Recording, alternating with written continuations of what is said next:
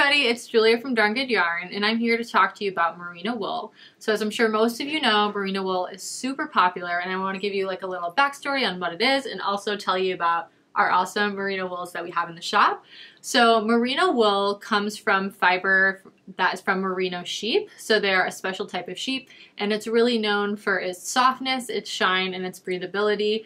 Um, so going through the winter, it's really nice to have a nice cozy wool on a sweater or a hat or something like that. But also as you go into warmer months, since it has that nice breathability factor, lighter merino wools would be awesome for like summer tanks or something like that as well.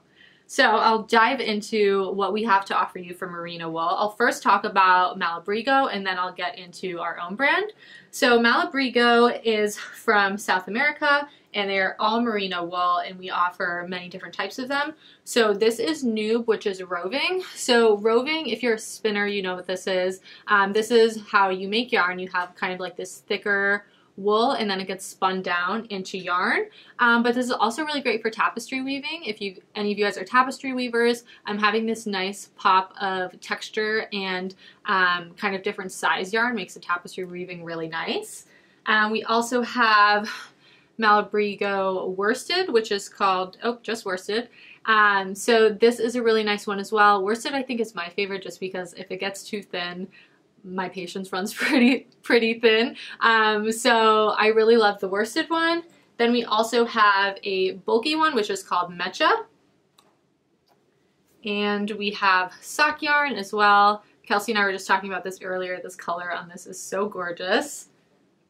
And then we have Mechita, which is like these really beautifully kind of I want to say polka dot, but that's not not the right word. Um, but really beautifully dyed yarn that is just so gorgeous with the different pops of colors.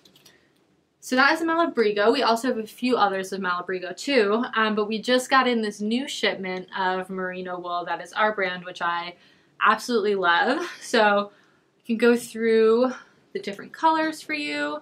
Um, so this is sock yarn. It is 75% merino and 25% nylon because you want that stretch in there for it, knitting something like a sock or crocheting something like a sock. So this first color is succulent green. And I also crocheted up some swatches so you can kind of see how they pool. Um, but this is how the succulent green pools. I think it has some really nice striping effects with this one. Um, the lines of the dye lines are pretty long, so that's why you get these nice kind of striping. It also depends on how you knit it and how wide you knit it. And then next up, I think this is the office's favorite. Everybody's been saying it looks very 80s vibes, um, but this is Candy Pop. So it has, whoops, has these blues and yellows and pinks and pops of black and white as well. Um, so this would be super fun in like a sweater or a hat or something like that. Next up is Canyon Trails. So I think if you like more of like muted neutral tones, this would be a good one for you um, because these oranges are pretty muted as well as those nice pops of like that tan, um, which is really great for people who don't like the bright colors. And then we have Icy Waterfalls. I know you guys love blue. I think blue is one of our most popular colors here among our yarns. Um, so this one is really fun and I love the little pops of the turquoise in this one because it just has this little section right here. So that means you'll just get kind of tiny ones. And when you're working with um, variegated yarns like this, I when you're kind of crocheting it up or knitting it up one of the most fun parts for me is like just seeing at the end where all the colors pooled and where everything kind of showed up in the piece. Um, so that's what I love about using yarns that aren't just a solid color. And then I'm ending here with my favorite. So this is Black Sangria.